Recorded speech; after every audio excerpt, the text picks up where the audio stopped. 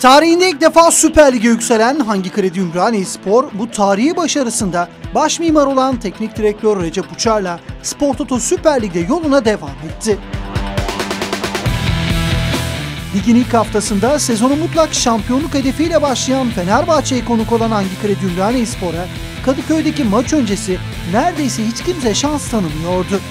Kırmızı beyazlı ekip karşılaşmada iki kez geriye düşse de mücadelenin 73. dakikasında Mırsic'in penaltı golüyle öne geçmeyi başardı. Ancak son dakikada gelen golle sağdan bir puanla ayrılmak zorunda kalan Hangi Kredi Ümraniye Spor, spor kamuoyundan tam not alarak lige kendi adına hızlı bir giriş yaptı.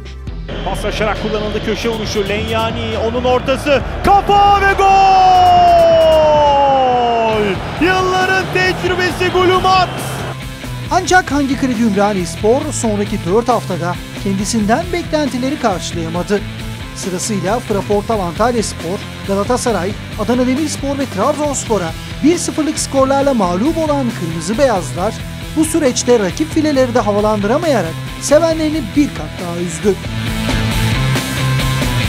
4 maçlık seride puan alamayan Hangi Kredi Ümraniye Spor 6. haftada Gaziantep Futbol Kulübü'ne konuk oldu.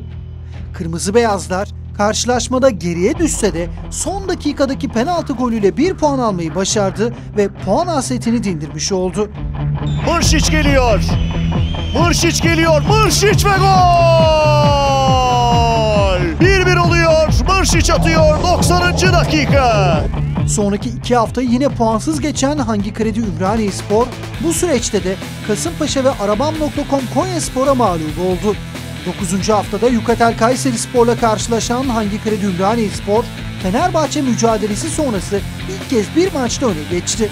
Ancak Kırmızı Beyazların bu üstünlüğü çok uzun sürmedi ve 5 dakika sonra gelen beraberlik golü sonrası karşılaşma 2-2'lik eşitlikle sonuçlandı. 10. haftayı bay geçen Hangi Kredi Ümraniye Spor 11 ve 12. haftaları da puansız geçti. Babakars Fatih Karagümrük'e 3-1, Beşiktaş'a da 5-2 mağlup olan Kırmızı Beyazlar iki maçta kalesinde gördüğü 8 golle sevenlerini bir hayli üzdü. 13. haftaya ligde galibiyetle tanışamadan giren Hangi Kredi Ümraniye Spor'un rakibi Korendon Alanya Spor'du. Mücadeleye mutlak galibiyet parolasıyla başlayan Kırmızı Beyazlar ilk yarıyı Umut Nayır ve Geraldo'nun golleriyle 2-0 önde kapatmayı başardı. Ligde ilk kez iki farklı üstünlük yakalayan Hangi Kredi Ümraniye Spor bu avantajını kullanmayı bildi ve sahadan 3 birlik skorla galip ayrılarak ilk 3 puanını hanesine yazdırmayı başardı. Lige verilecek Dünya Kupası arası öncesi Demir Grup Sivas Spor'a konuk olan Hangi Kredi Ümraniye Spor karşılaşmada öne geçse de bu üstünlüğünü koruyamadı ve zorlu mücadele 2-2'lik eşitlikle tamamlandı. Bu sonuçla 14 haftalık lig periyodunda ilk defa üst üste iki maçtan puanla ayrılmayı başaran ligin yeni ekibi Hangi Kredi Ümraniye Spor 14 haftada 7 puan almış oldu ve ligi son sırada tamamladı.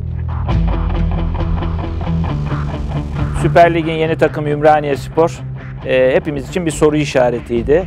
E, sezona hakikaten yine aynı teknik adam Recep Uçar'la başladılar ama aynı kadroyla başlamadılar tabii. E, bu kadroyu çok fazla güçlendirmeseler de e, yerli ve yabancı isimlerle kendi plan, oyun planlarına göre bir kadro oluşturdular.